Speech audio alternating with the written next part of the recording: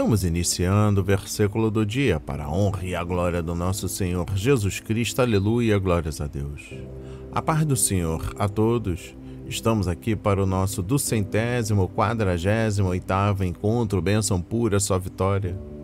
Trago para o dia de hoje a leitura e meditação no livro de Romanos, capítulo 8, versículo 32, com a palavra-chave, a melhor promessa de Deus. Uau!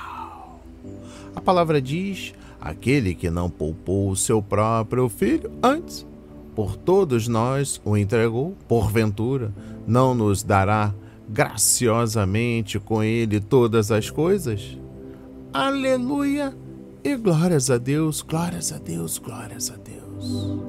Meu irmão, minha irmã, muitíssimo obrigado por estar conosco neste momento de leitura, meditação, estudo da palavra e reflexão. Aproveitando a oportunidade, rapidinho, pegue lá bloco de anotação, caneta ou lápis, a Bíblia, tão importante quanto a sua leitura diariamente nos traz refrigério para a alma e sabedoria.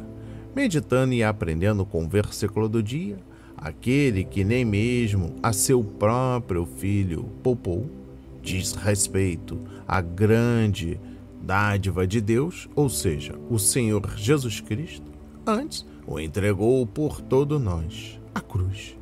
Como não nos dará também com ele todas as coisas? Podemos ter todas as coisas que pertencem à vida e à piedade, pelas quais Jesus pagou na cruz, desde que nossa fé esteja sempre em Cristo e na cruz. Referência 2 de Pedro, capítulo 1, versículos 3 a 7.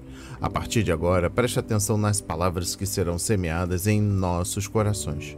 Mas antes, eu, irmão Márcio Lima, humildemente lhe peço que nos ajude com a divulgação do nosso trabalho diário, se inscrevendo em nosso canal, ativando as notificações, nos recomendem, compartilhe ao máximo nas suas redes sociais, nos grupos do WhatsApp, da sua família, dos seus amigos e a comunidade no qual você reside.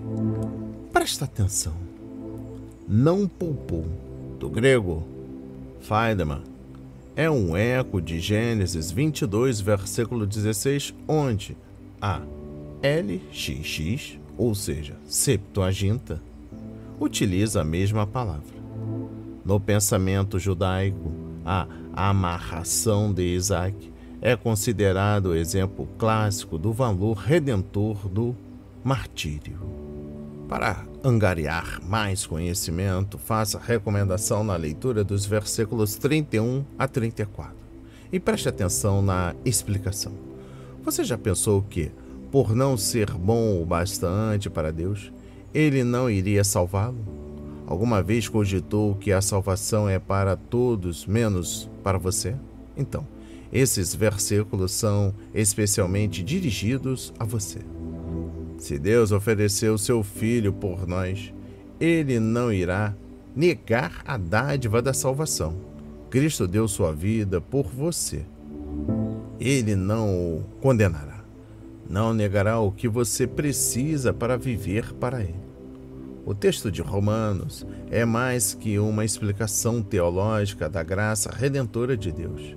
É uma carta cheia de conforto e confiança dirigida a você. Continuando com o nosso estudo, não poupou nem mesmo seu próprio filho. Essa frase remete à história de Abrão, que se dispôs a oferecer seu filho Isaque. Gênesis 22, versículos 12 e 16, que no entanto não foi sacrificado. Deus, por sua vez, foi até o fim ao oferecer seu único filho. Ele o entregou à vergonha e dolorosa morte por crucificação. Quando o autor da carta aos Romanos menciona será que não dará todas as coisas, Paulo quer nos convencer da certeza da nossa herança nos céus. Deus não deserta seus filhos. Uau! Contribuindo ainda mais para o nosso conhecimento, nós temos provisões preparadas para todas as nossas necessidades.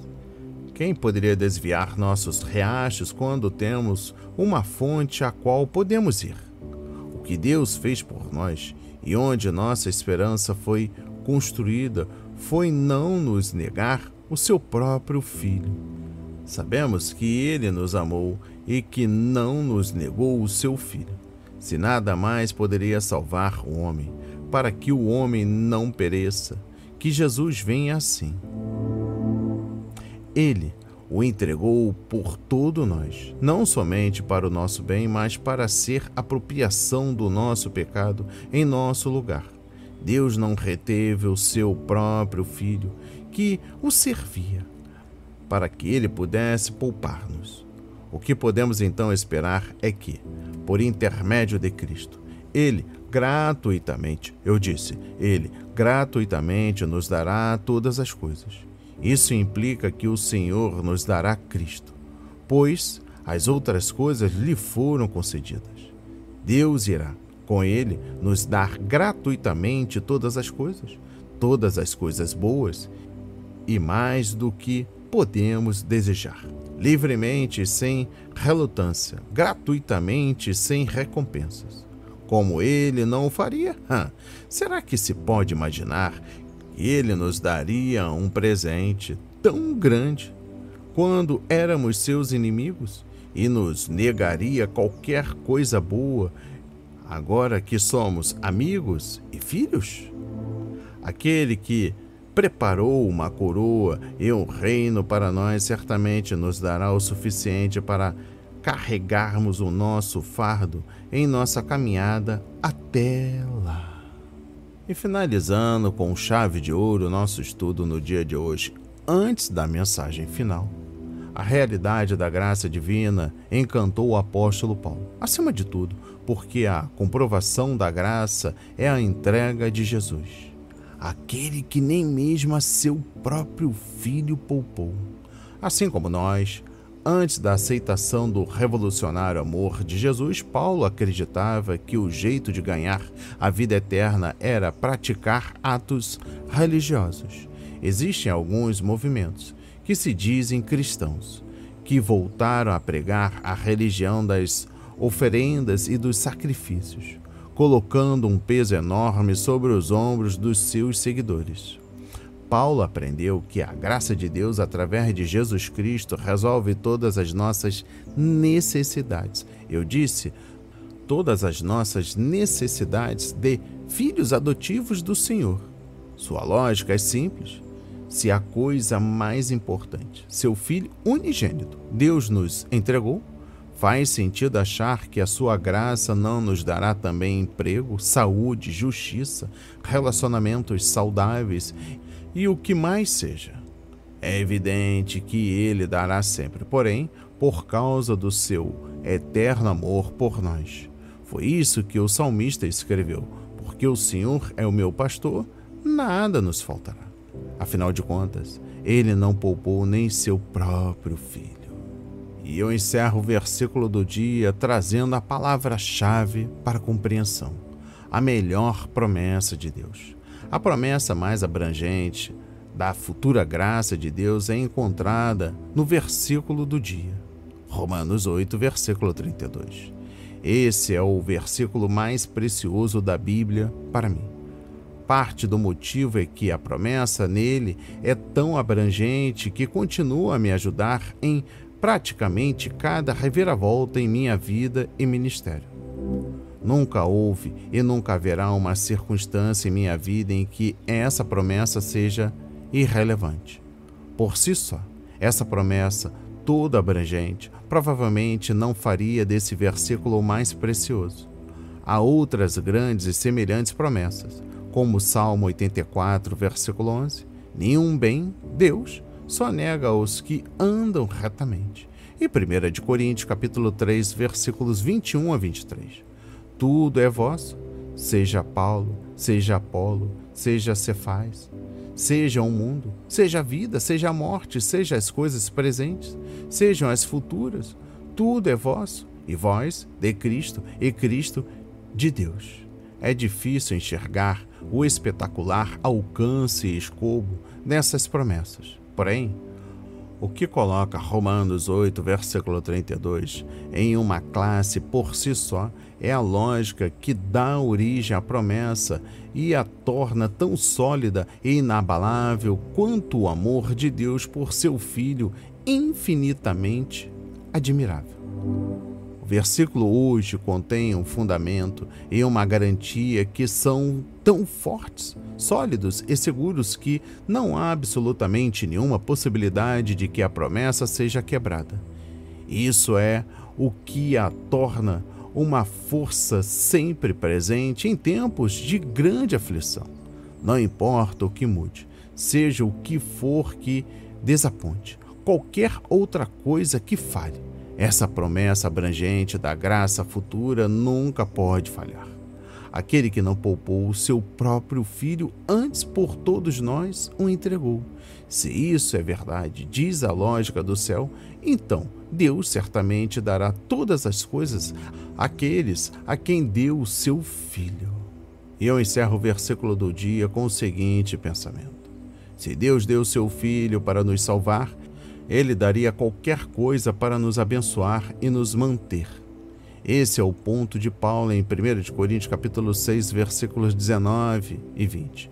Ele nos diz que fomos comprados por um preço para nos encorajar a sermos santos. Aqui ele enfatiza o mesmo ponto, mas para nos dar segurança. Não é incrível como a verdade da graça de Deus contém uma bênção com muitas faces? As palavras de hoje foram semeadas em corações quebrantados para a honra e a glória do Senhor. Oremos. Pai amado, bendito Senhor, meu Deus e meu Pai, todo-poderoso Deus, aleluia, glórias a Deus.